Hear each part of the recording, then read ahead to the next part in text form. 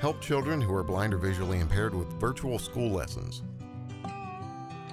Donate today and we will match up to $20,000. Go to cabvi.org to learn how.